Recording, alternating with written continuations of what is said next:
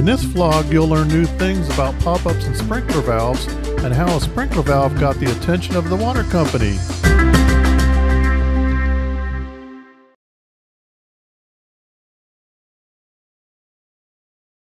Adjustable nozzles are not designed to do 360. See how there's a gap there?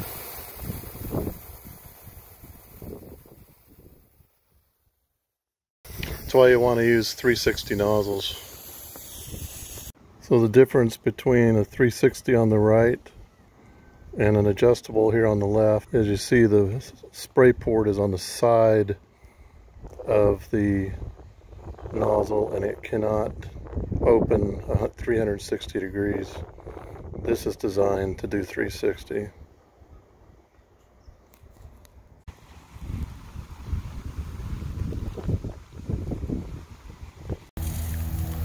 So this is what the 360 is supposed to look like.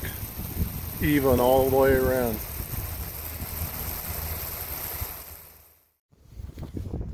That's the screen from this nozzle, but the top part of it broke off and it's stuck down in there. It's tried to get out with my screwdriver and wasn't able to get it out. It's it's hitting a ledge here or something. I tried to flush it out just now and that didn't work. So I guess I'm gonna have to take the pop-up apart. Yeah. I pushed the soil level down and used my channel locks to get this started. Sometimes you have to grab the body with another pair of channel locks, but I was able to do it without doing that. This dude is right up against the concrete.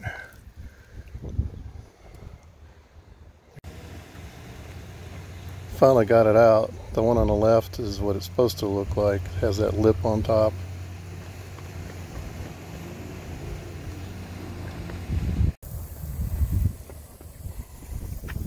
One, two, three times four gallons per minute 12 plus half of that is 14 and this line can only handle eight it's a three quarter inch line.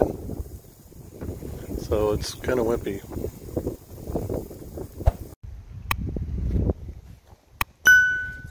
This valve is bleeding through. It's coming out at the other end down there. It's leaking out of a pop-up down there. So I need to turn water off to these valves so that I can take this valve apart. The shut-off is down here and this is just the way it was set up. I didn't do any of this. Um, warning if you're squeamish about bugs you might want to wait until I say it's safe to look again. Ready? Here we go. The valve handle is has to be cleared away to get at it and that is gross. So I'll be using a trowel not my hands. Okay. It's safe to look again. Like that. And I cleared it out with my trowel.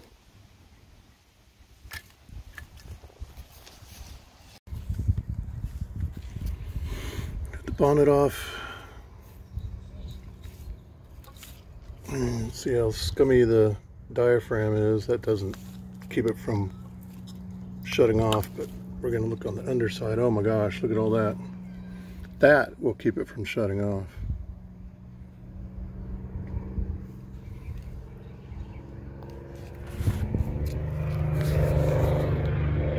So I'm not gonna, there's there's so much of that junk there, it's embedded in it, so I'm gonna put a new diaphragm in it.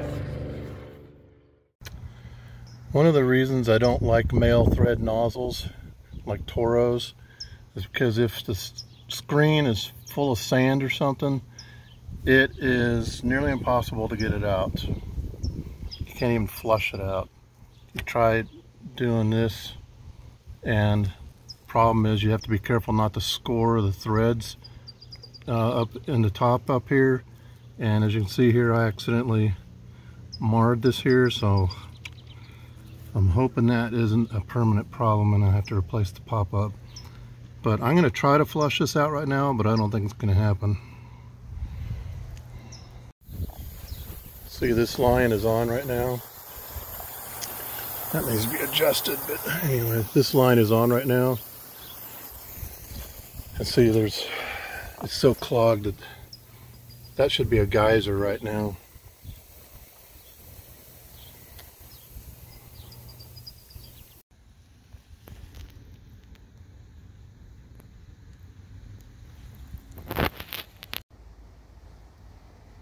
I'll take this Toro pop-up apart and show you how much sand was jammed in there to hold that screen in there like that. I cut the shaft with my cutter hoping to get below the screen but I accidentally cut in the middle of it. But you can see cross section of all the sand that's jammed in there. Here we have another one that's jammed in there. I got this one out with a lot of effort. I'm going to flush this out. Get the rest of that crud out of there and hope I didn't damage the threads on there. I'm going to put a new nozzle on. I did that successfully. Now on to the next job. I got called here because um, the guy's out of the country and he got a call from the water company saying that he was using a bunch of water um, and the water was flowing constantly. So they came out and shut off his water supply to his property. I open up this valve box and you can hear water passing through one of these valves.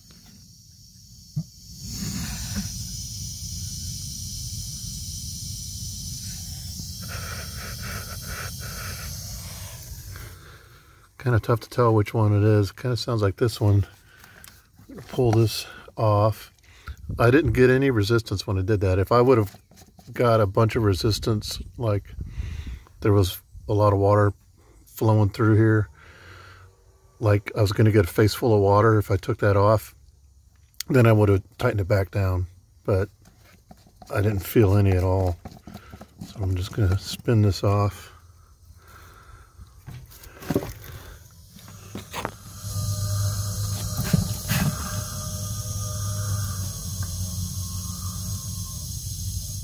Appears that water is just barely, barely coming out.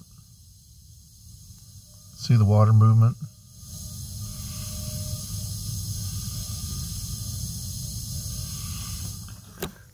Compared to the next one, I'm going to put that back on because I don't want to get debris in there and I don't want those little teeny frogs jumping in there either.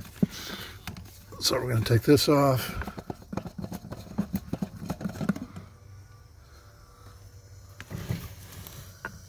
and there is no water movement.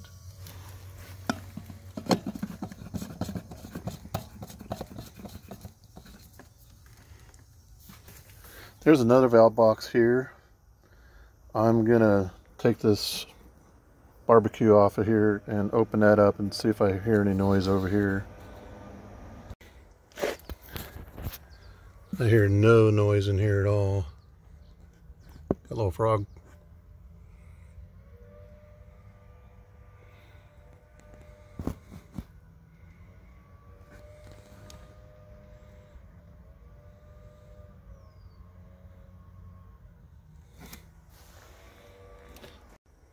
So apparently it's that valve there. I'm going to turn the water off here. And the proper one to turn off is this one.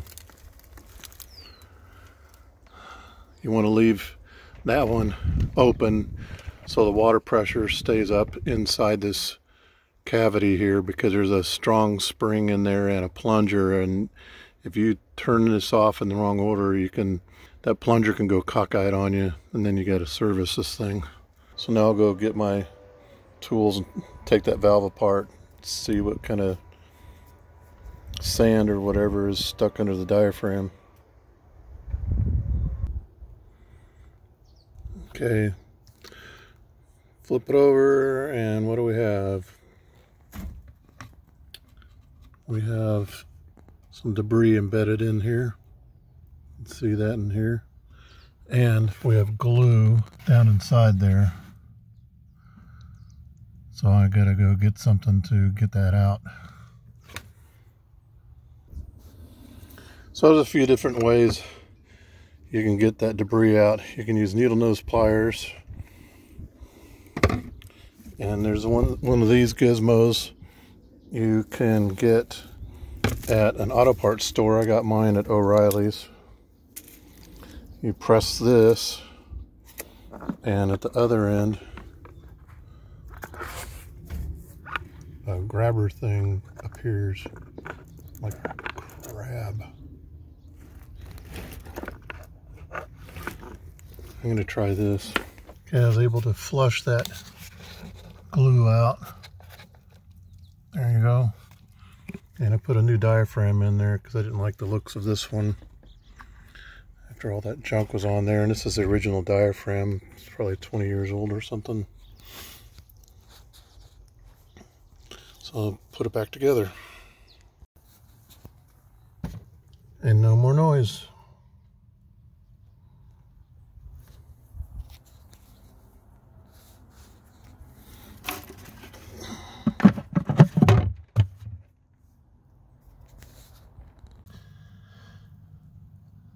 and it's not turning anymore. So you might wonder how that little tiny water movement that you saw back there at the valve could be enough for the water company to shut this property water off. I have a feeling that that big chunk of glue that you saw was probably um, jammed up underneath the diaphragm initially. And when I took the diaphragm out, the glue dropped down into the valve. But with that big chunk in there, that would have had that diaphragm open much wider. That water would have been flowing through there pretty good. And that would have justified it. Remember the free downloads that can help you with your irrigation. Also remember the resources site link below that has most of the products for sale that I've discussed in these videos. Thanks for watching. See you next time.